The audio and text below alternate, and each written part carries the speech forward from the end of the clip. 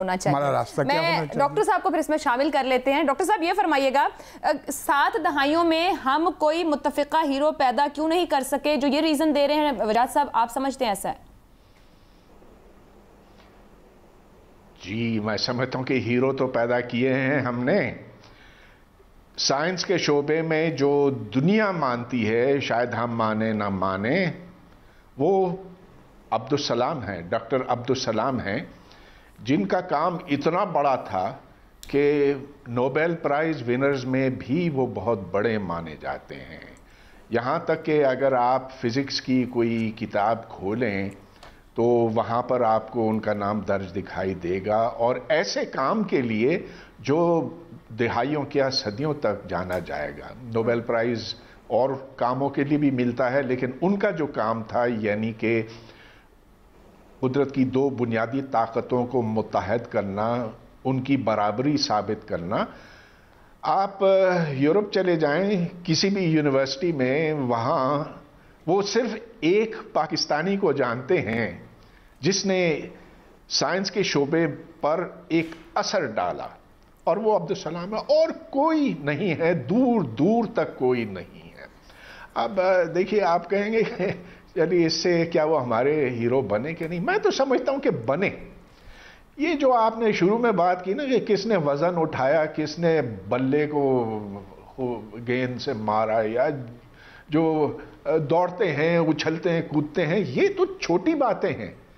Science वो चीज़ है जिसने हमारी दुनिया को बनाया है, उसकी तामीर की है। और इसमें इसके कई शोबे हैं। एक तो इंजीनियरिंग है। इंजीनियरिंग की बुनियाद फिजिक्स और मैथमेटिक्स है। और सारी साइंसेज जो हैं जैसा कि केमिस्ट्री है बायोलॉजी है वो फिर बिल आखिर फिजिक्स में आकर जम हो जाती हैं।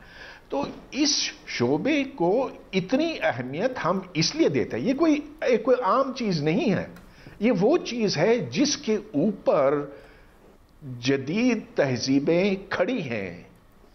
तो इसमें अगर कोई कमाल दिखाए तो यकीनन बहुत बड़ी बात होती है। डॉक्टर साहब कतः कलामी की माजरत आप पूरी बात बिल्कुल दुरुस्त कह रहे हैं and I totally agree with you लेकिन फिर सवाल वही क्या पाकिस्तान में हीरो करार पाने के लिए खास अकीदा रंग नस्ल मज़हब ये सब दरकार फिर वही बेसिक बुनियाद। दुनिया तो मानती है डॉक्टर अब्दुल सलाम को लेकिन क्या हमारे बच्चे यहाँ पर उस तरह मानते हैं समझते हैं कि डॉक्टर अब्दुल सलाम कौन है? क्या मैंने अपने बचपन में डॉक्टर अब्दुल सलाम को किताबों में पढ़ा उस तरह से?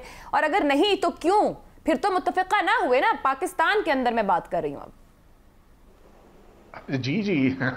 मैं तो मैं यही अर्ज़ कर रहा हूँ कि दुनिया तो जानती है, हम नहीं जानते। फिर आप ये ना पूछें कि हमारे हीरो कौन है? हम, अगर हमसे मतलब ये कि वो लोग जो सिर्फ़ अपनों को ही मानते हैं, उनको नहीं मानते जिन्होंने बड़ा काम किया तो देखें, फिर छोटे लोग तो यहाँ बहुत से हैं। और उनको खूब बढ़ा चढ़ा के पेश किया जाता है। तो बड़े जाली हीरो हमारे यहाँ हैं। कुछ वक्त के लिए वो शख्स भी बहुत बड़ा हीरो बन गया था जिसने वो जाली पानी की गाड़ी बनाई थी।